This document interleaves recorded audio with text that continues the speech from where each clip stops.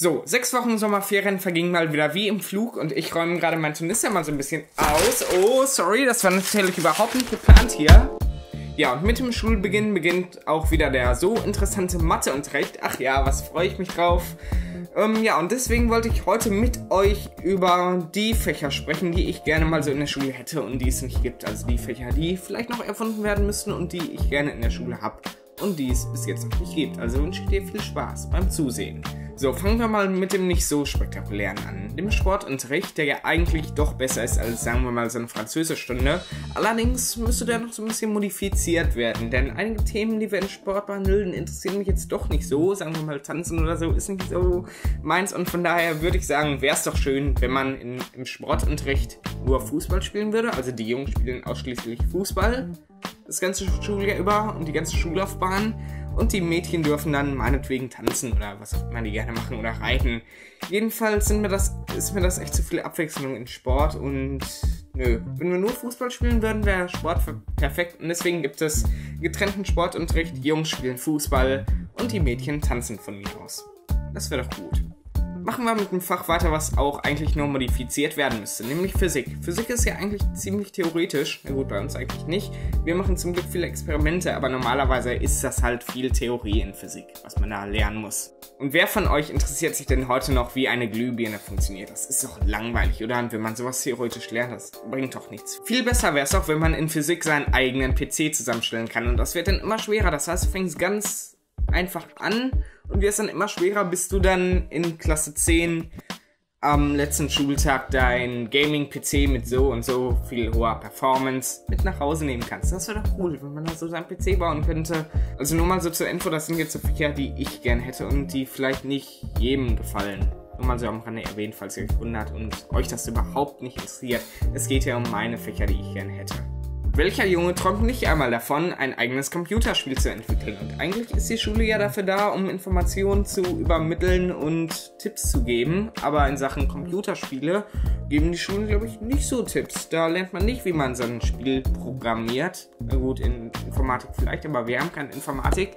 Ne, jedenfalls wäre es schön, wenn man irgendwie, wenn es ein Fach geben würde, in dem man sein eigenes Computerspiel lernt zu programmieren. Von mir aus auch ruhig von den Basics bis dann zum Ende. Also das wäre wirklich cool, so ein eigenes Computerspiel. Hm, das Let's Play ich dann natürlich.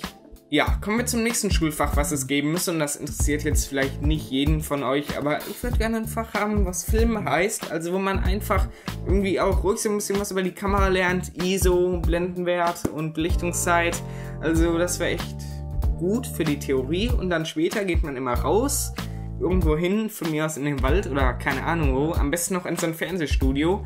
Ja, und dann dreht man da halt seine Clips, so wie ich das gerade eben schön mache, und später bearbeitet man die dann. Wenn es das Fach Film gibt, muss es auch das Fach Editing geben, denn so ein Clip muss natürlich bearbeitet werden, denn sonst sieht der ganz schrecklich aus, so wie ich jetzt hier gerade. Wenn ich jetzt hier, vielleicht kann ich mal mein Rohmaterial einblenden, wie ich jetzt so aussehe.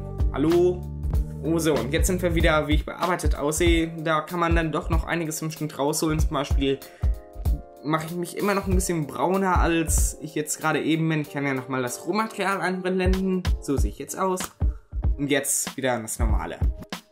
Schon ein Unterschied und ich finde, wirklich Schnitt muss sein. Und man soll natürlich nicht nur dann da lernen, wie man jetzt sowas eben macht, sondern auch ruhig Special Effects mit einfügen und da müssten die Lehrer dafür da sein, um einen wirklich After Effects schön beibringen zu können. Auf jeden Fall After Effects, nicht irgendwie Motion 5 oder wie das da von Apple heißt. Wir wollen nämlich nur mit Profi-Programmen, nur mit dem Besten arbeiten und deswegen müssten die Lehrer einem da wirklich was so ein bisschen über After Effects beibringen. Das wäre echt cool. Da YouTube immer, immer, immer weiter wächst, wäre es doch gut, wenn man einfach Musik oder Kunst gegen YouTube tauschen könnte, weil wer interessiert sich denn für Kunst? Gut, Kunst ist eigentlich ganz gut, da kann man immer bei uns zumindest schön Musik hören. Na, aber trotzdem wäre YouTube, glaube ich, besser. Und das ist dann natürlich nicht nur so Vergnügen, die neuesten Videos von keine Ahnung wem angucken, sondern hat doch schon einen lehrerischen Hintergrund. Nee, lehrerischen sagt man nicht. Einen lernhaften Hintergrund, nenne ich das jetzt einfach mal. Nämlich sagt der Lehrer dann so, ihr guckt euch jetzt alle mal das neueste Video von Snook an und dann stelle ich euch ein paar Fragen dazu. Oder ihr guckt euch das an und dann schreiben wir mal einen Vokabeltest darüber. Das war doch echt cool, wenn der Lehrer so sagt, so ihr guckt alle das Video von, das neueste Video von Sarazar und dann stelle ich euch dazu Fragen und ihr müsst sie beantworten. Das wäre doch ein cooles Fach so, anstatt Musik oder Kunst. So, kommen wir zum nächsten Fach, nämlich Zukunft. Denn es gibt Geschichte, aber Geschichte war damals, das war 1800 irgendwas, was man da dann lernt in der Schule. Und von daher finde ich es viel interessanter, was über die Zukunft zu lernen, denn wir sind die Zukunft. Und deswegen war es auch schon spannend, wenn man mal so ein bisschen auch mit dem Lehrer, mit einer Fachperson wirklich mal darüber spekulieren, spektakulieren, spekulieren könnte, was denn so in, sagen wir mal, 60 Jahren passiert, was es da für Handys gibt. Wobei, das müsstest du eigentlich wissen, wenn du mein Video hier unten gesehen hast. Also guck es dir ruhig an.